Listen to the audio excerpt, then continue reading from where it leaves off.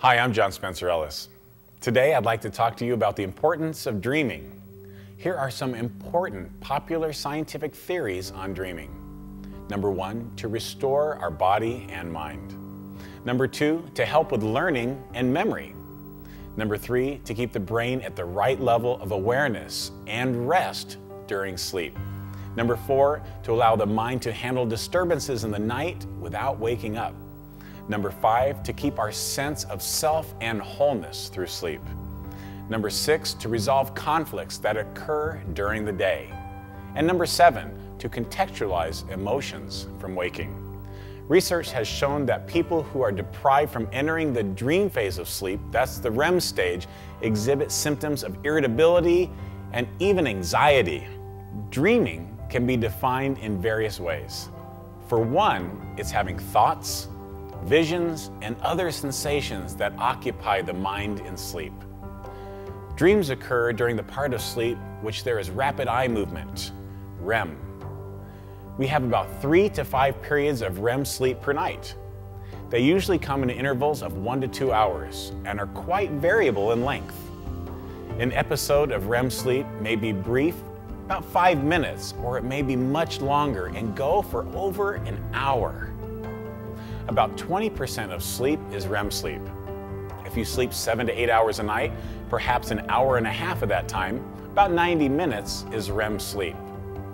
REM sleep is characterized by a number of other features besides rapid eye movement, including rapid low voltage brain waves on the electroencephalograph. That's an EEG. Daydreaming occurs when you are semi awake, and it is the spontaneous imagining or recalling of various images or experiences in the past or future. The content in our daydreams are helpful in the understanding of your true feelings and it helps you fulfill your goals. When you daydream, you are accessing your right brain.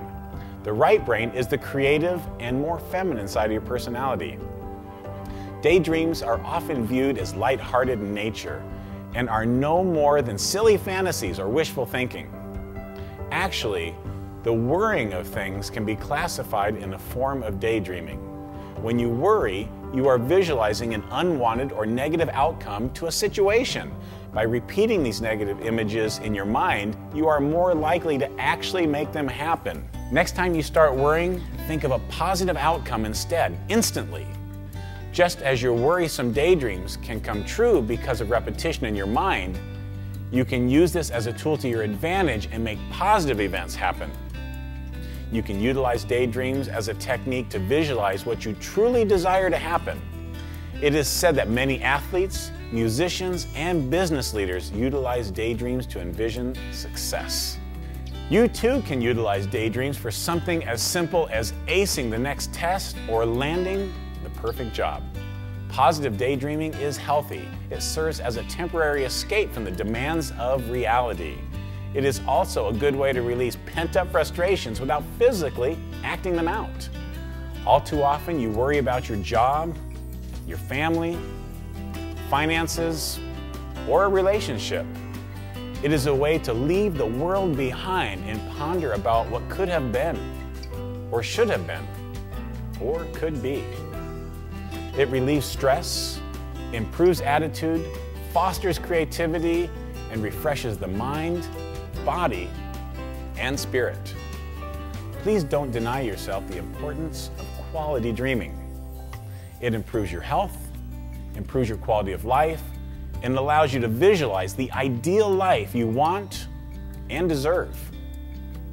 Be sure to watch my other videos on how you can improve your quality of sleep to enhance all aspects of your life please visit me at johnspencerellis.com. Thank you very much. Be well.